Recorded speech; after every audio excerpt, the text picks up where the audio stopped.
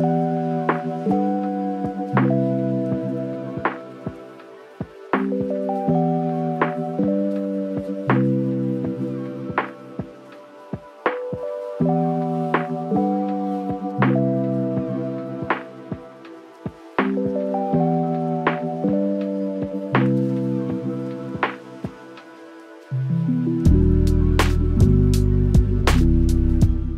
video is going to be on the Blake's hitch. I'm going to tie it a couple of different ways. The first way I'll tie it is a more traditional way where I just use this um, single piece of rope doubled over a branch, tie it to a piece of hardware and to itself. The next way I'm going to tie it will be in a split tail fashion. That's where I have another two uh, carabiners, one with a termination in and one termination on my split tail. We're gonna tie this in the way that the ISA would like to see it. If you're not familiar with the ISA, it's the International Society of Arboriculture. Um, it's worldwide, and what the ISA does is certifies people in um, as tree climbers. So this is how we'll, we'll do it. The first thing I'm gonna do is I'm gonna attach this rope to my carabiner. What I'll need to do is I'll get a wingspan of length. This is what I'll need to um, you know, this much rope in order to use to be able to tie the knot and also the bridge and everything that I'm going to need to attach to my line. So once I've got this wingspan, now the, the, knot, the knot that I'm going to use will be an anchor hitch. So to do that, I'll bring the rope through my carabiner. I also wanted to mention that all these knots that we're going to use in this video, we've done in the past, so you guys might want to have a look at those. They'll be in the link in the description below. So now that I've passed the rope through my carabiner, I'm going to have the standing part of the line on the spine of my carabiner. Now I'll do one wrap, another, making a complete turn. Now I'll get this tail end and I'll bring it through the wrap or the complete turn. And now I'll snug it up. Okay, get it tight. All right. Once I've done that, now I'm going to have a bridge. Now the bridge, it will depend on your body and the length of your arms. You have to have enough for a pull. so I'll put the rope over my standing part.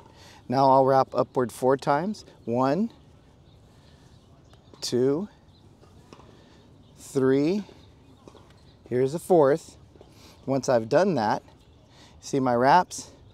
I'll bring this over my line and once I captured the bridge, now I'm gonna go to this side. I'm gonna open two of these wraps. I'm gonna put my tail through it. Once I do that, I'll make it tight. I'll be tying, dressing, and setting. That's where I'm gonna get everything in line to make sure it's all proper and set. Now what I'll do is I'll put a little tension on my line, put a little bit of weight on it. Now I can see that it's tight. Now I'll put a figure of eight stopper because this is an open end. You need to have a stopper. So there's my figure of eight here. Pass it through.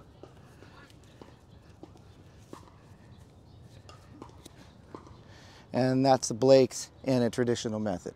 So the next method I'll show you is with a split tail.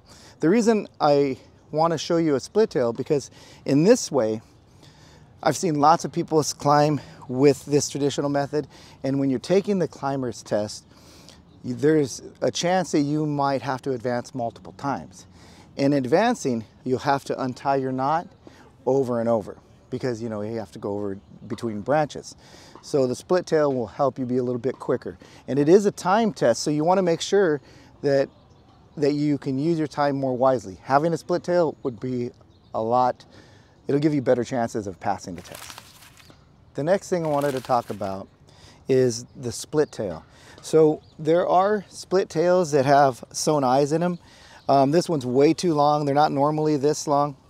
Um, some, they're usually about this long if it's a wide eye. There's also some split tails that have a really small eye.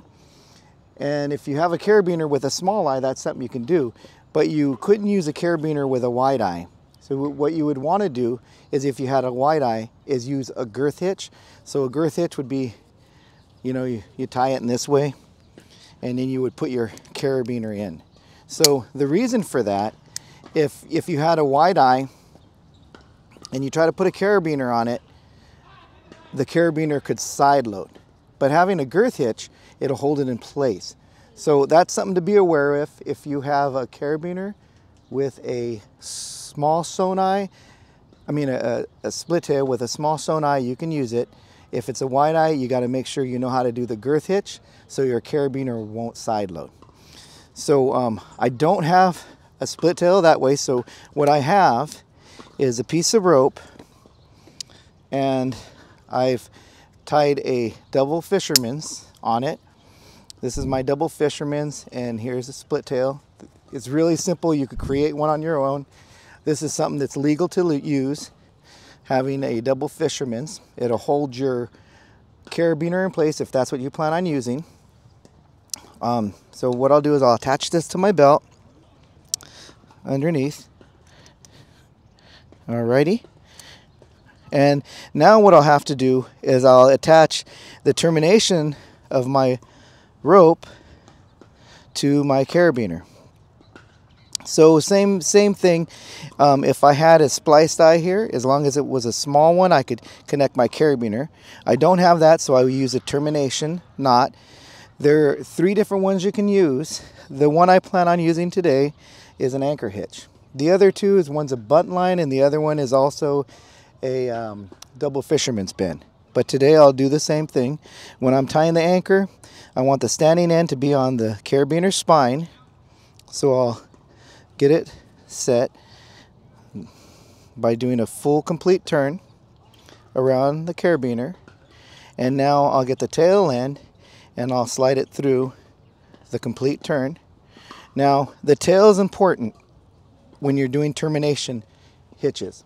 You have to have on your tail at least five diameter lengths for it to be okay to use. Anchor, buntline, and double fishermans do not require a stopper, but you have to have at least the proper length. So five diameter lengths. This is a little bit more, so it's okay to use. I'll tie, dress, and set it. I have that connected.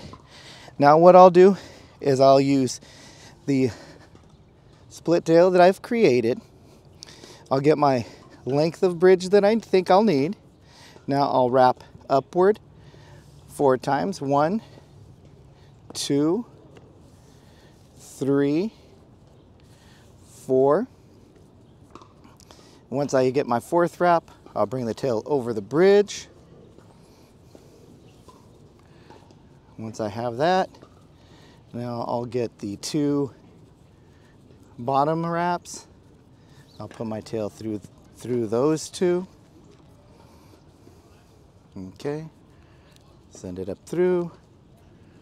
I got to that point. I'll high dress and set it. Get them all in order. I'll get some weight on it, make sure that it's gonna hold. All right. Put weight on it. Now I know it's gonna hold. Same thing as before. You'll need a stopper, so we'll use a figure eight stopper.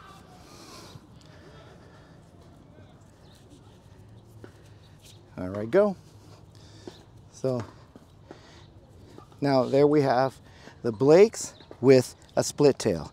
So with this split tail, it could make your climb, or it will make your climb a lot more quicker. So in the test, there's chances you'll have to advance. So you would throw your lanyard around the tree. If you're advancing, you've got to your, your tie-in point. It's a lower, more likely a lower branch. All you have to do is disconnect your termination and then you could throw it over the next branch above you. If you were gonna throw it super high, you may have, you have to take your carabiner off and throw it way high, you get it back to yourself, you tie it and connect back to yourself. But if you have to do this multiple times, it's a lot easier to disconnect and reconnect the carabiner than to untie your friction hitch multiple times. Remember that when you're going to be taking that test, each knot that you're going to tie, it's to be tied within a minute. Um, they use a timer, so a lot of people get flustered when the timer starts. You want to practice this hitch or the hitch that you're going to use and get it down like you can do it blindfolded. You want to do your best not to be nervous and just do it till you feel so comfortable. Good way to practice, watch it with the video and um, check your work after you feel like you've got it down. Do it on your own. Try to time yourself. Make sure you're ready to take the test. It sounds funny, but a lot of times when you get there, time starts, people get flustered. Anyhow, I hope you guys like this video. Comment, like, and subscribe. Hit that notification bell if you like what we do. And by all means, share our video. Take care. We'll see you next time.